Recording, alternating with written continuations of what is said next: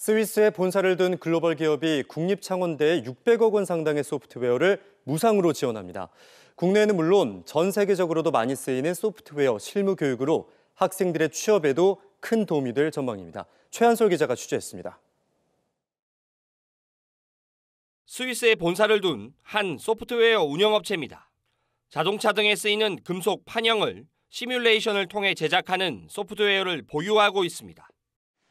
세계 시장의 80%를 차지한 이 기업이 창원대에 소프트웨어를 무상으로 기증했습니다.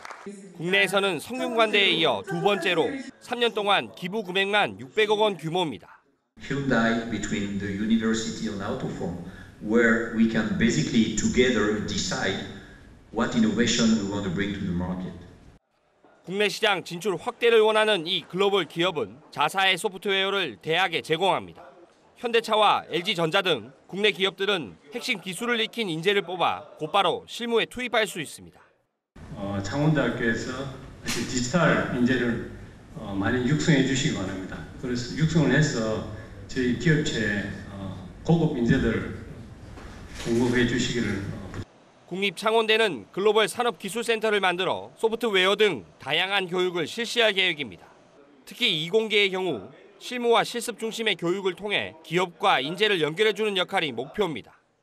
학생들이 직접 바로 현장에서 필요한 기술들을 바로 배울 수 있는 어, 그런 기능을 가지게 되었습니다. 더욱더 현장과 기업과 지역사회와 밀접하게 연계되도록 노력하겠습니다.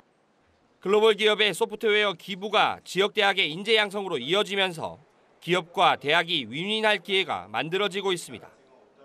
KNN 최한솔입니다.